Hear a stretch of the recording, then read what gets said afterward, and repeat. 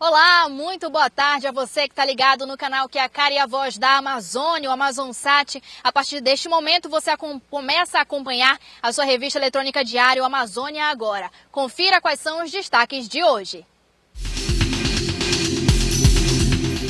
Prefeitura autoriza a reabertura de shopping interditado na zona centro-sul de Manaus. O shopping foi interditado após partes do teto cederem durante o temporal da última segunda-feira. Palestras, workshops e expofeira marcam o segundo dia do Congresso da ABRH Amazonas. O evento termina hoje. E ainda, a cantora amazonense Márcia Novo participa do quadro Sons da Amazônia e divulga participação em Luau neste fim de semana. Manaus, 4 de outubro de 2013, a sua revista eletrônica já está no ar.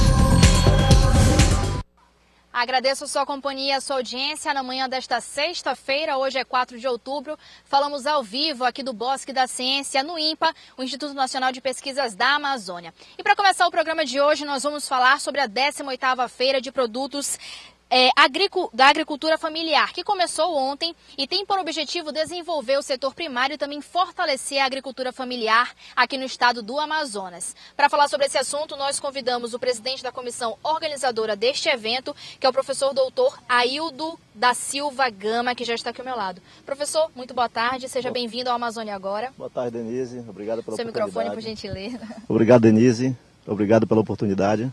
Para a gente começar falando, professor, ontem teve início a, a 18ª edição da feira.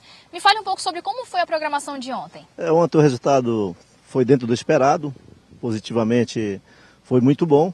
É, tivemos bastante visitantes apreciando os estandes, conhecendo os estandes institucionais e também visitando os agricultores familiares e também os nossos cursos nosso curso também teve uma procura muito grande, com, com todos os cursos praticamente tiveram uma média de 50 participantes. Isso para nós é muito gratificante. Certo. E eu, quero, eu gostaria que senhor destacasse para a gente algum ponto da programação é, que realmente é relevante, não que o resto da programação não seja, mas o que, que essa 18ª edição traz de novidade para o setor primário aqui da nossa região?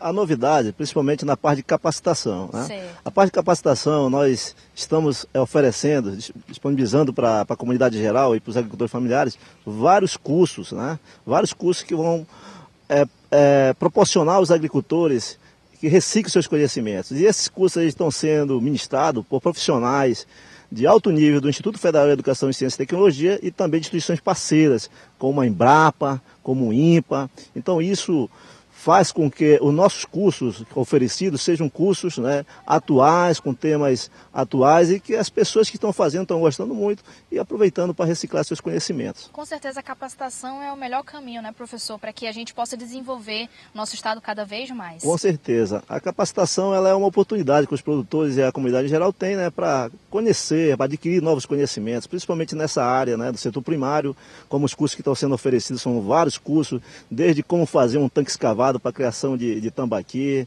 desde como montar um sistema de irrigação simples né, para você produzir hortaliças é, em jardins. Hoje mesmo está sendo oferecido cursos né, voltados para fruticultura, cursos voltados para a parte de produção de queijos, é, cursos que estão sendo oferecidos para beneficiar pescado, como tirar espinhas de peixe. Tudo esses são os cursos que estão sendo oferecidos no momento e estão sendo muito procurados. Professor, para a gente finalizar, é, a feira ela foi criada em 1995, não é isso? Certo. E eu gostaria de saber como é que foi que surgiu a ideia de criar um evento como esse, que se fortaleceu e hoje em dia já é uma referência aqui na nossa região. Correto. A, a feira, nesse ano, ela está passando a, a, maioridade, né? É a 18ª versão. Essa feira começou né, com a, a ideia de alguns colegas servidores que há 18 anos atrás perceberam uma necessidade, né, uma necessidade de criar um espaço onde o agricultor familiar, naquela época, pudesse participar. Porque o agricultor familiar, naquela época, ele não, ele não participava dos grandes eventos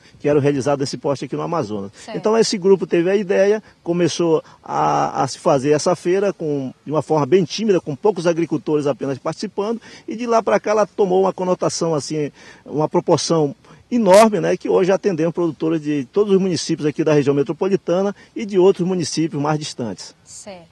Professor, então aproveite para fazer o convite para as pessoas estarem participando, porque o evento está sendo realizado desde ontem. Ainda dá tempo de alguém participar? Ah, sim. É, o evento está começando praticamente. Começou ontem, quinta-feira.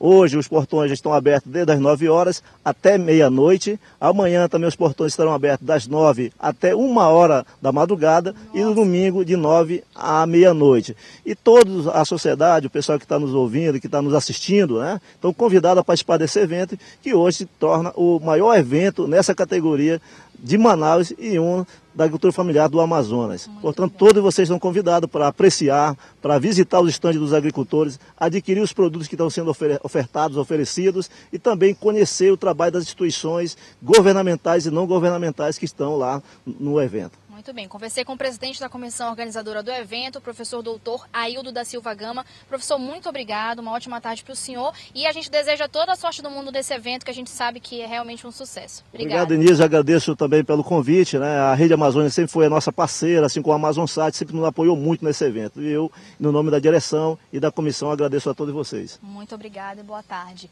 E você que está ligadinho aí no Amazônia agora, continua com a gente. No próximo bloco a gente traz mais destaques para você. Lembrando Lembrando que ainda hoje teremos um desfile super interessante falando sobre a moda primavera-verão. Você já pensou em como uma coleção é criada? Ela não nasce na passarela, e sim num processo de criação muito anterior e você confere ainda hoje no seu Amazônia Agora. Até já!